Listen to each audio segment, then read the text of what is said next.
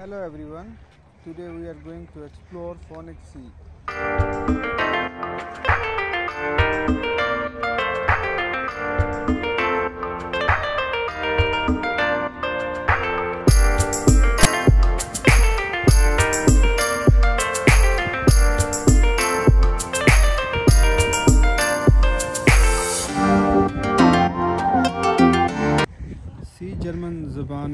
Lake کو کہتے ہیں اور اس لیک کی جو ٹوٹل لینگتھ ہے وہ 1.2 کلومیٹر ہے جس میں ایک بہت ہی خوبصورت واکنگ ٹریک بنا ہوا ہے، جس کی ٹوٹل لینگتھ 3.2 کلومیٹر ہے۔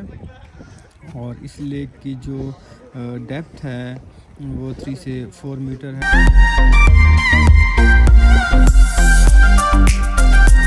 بہت بڑا واٹر ریزروائر ہے جو کہ six lakh cubic metre water کو سیو کرتا ہے اور یہ واٹر یہاں کے شہر کی جو ڈیلی کی ضروریات ہیں اس میں استعمال کیا جاتا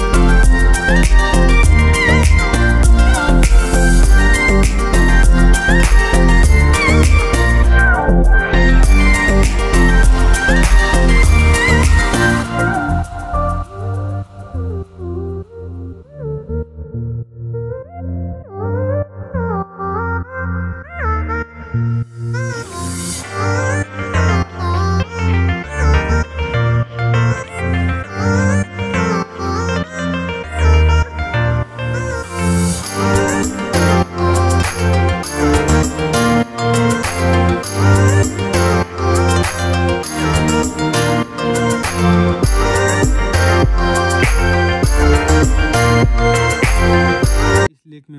سے خوبصورت اور نایاب پرندے ہیں۔ جیسے کہ آپ کے سامنے جو پرندہ ہے، اس کو اردو میں مرغابی کہتے ہیں اور یہاں پہ یہ بہت زیادہ تعداد میں پایا جاتا ہے۔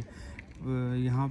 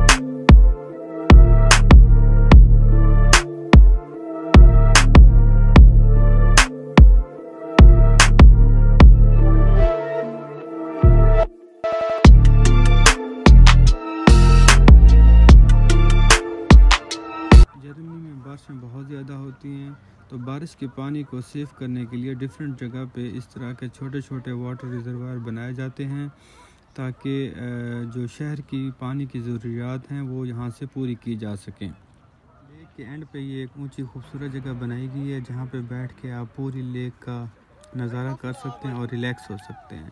ٹائم کافی زیادہ ہو گیا تو ہم اب یہیں اپنے ٹور کا اختتام کرتے ہیں اور واپسی کی راہ لیتے ہیں۔ Thanks for watching bye Música